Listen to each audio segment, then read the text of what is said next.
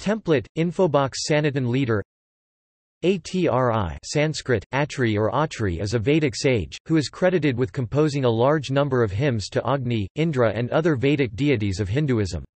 Atri is one of the Saptarishi seven great Vedic sages in the Hindu tradition, and the one most mentioned in its scripture Rigveda. The fifth mandala book 5 of Rigveda is called the Atri mandala in his honor, and the 87 hymns in it are attributed to him and his descendants. Atri is also mentioned in the Puranas and the Hindu epics such as the Ramayana and the Mahabharata.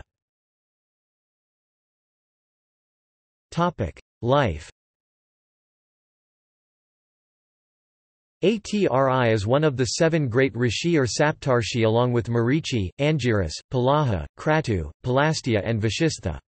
According to the legends of the Vedic era, sage Atri was married to Anasuya Devi. They had three sons, Dattatreya, Durvasas and Soma.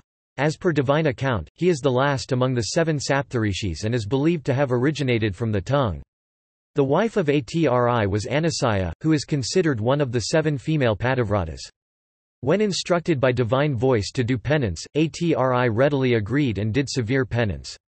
Pleased by his devotion and prayers, the Hindu trinity, namely, Brahma, Vishnu and Shiva appeared before him and offered him boons.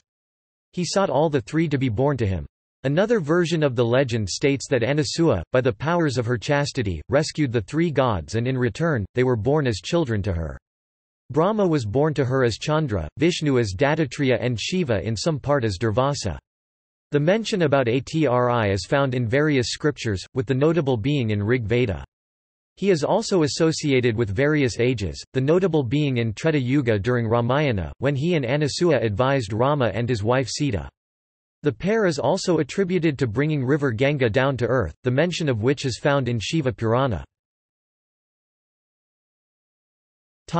Seer of Rig Veda He is the seer of the fifth mandala book 5 of the Rigveda. Atri had many sons and disciples who have also contributed in the compilation of the Rig Veda and other Vedic texts. Mandala 5 comprises 87 hymns, mainly to Agni and Indra, but also to the Visvadevas all the gods, the Maruts, the twin deity Mitra Varuna and the Asvins. Two hymns each are dedicated to Ushas the dawn and to Savitar. Most hymns in this book are attributed to the Atri clan composers, called the Atreyas. These hymns of Rigveda was composed in the northwestern region of the Indian subcontinent, most likely between c. 1500 to 1200 BCE. The Atri hymns of the Rigveda are significant for their melodic structure as well as for featuring spiritual ideas in the form of riddles.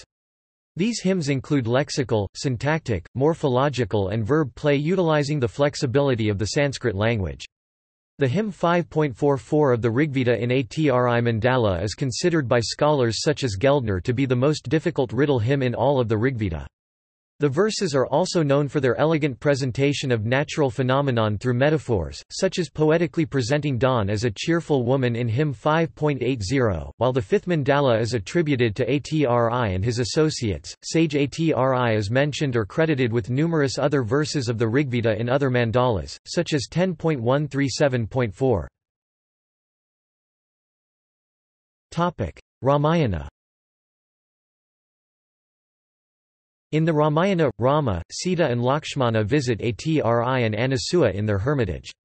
Atri's hut is described to be in Chitrakuta, near a lake with divine music and songs, the water loaded with flowers, green water leaves, with many cranes, fisherbirds, floating tortoises, swans, frogs and pink geese. Puranas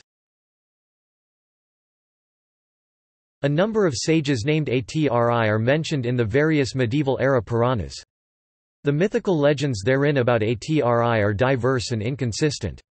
It is unclear if these refer to the same person, or to different rishis who had the same name. Cultural influence The Vaikhanasas sub-tradition within Vaishnavism found in South India near Tirupati, credit their theology to four rishis sages, namely Atri, Marichi, Bhrigu and Kashyapa. One of the ancient texts of this tradition is Atri Samhita, which survives in highly inconsistent fragments of manuscripts. The text are rules of conduct aimed at Brahmins of the Vaikhanasas tradition.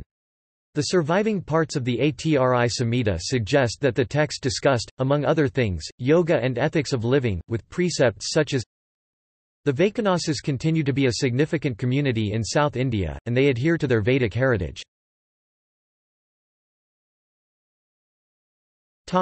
See also Abhyasa Bhartrhari References. Topic. Sources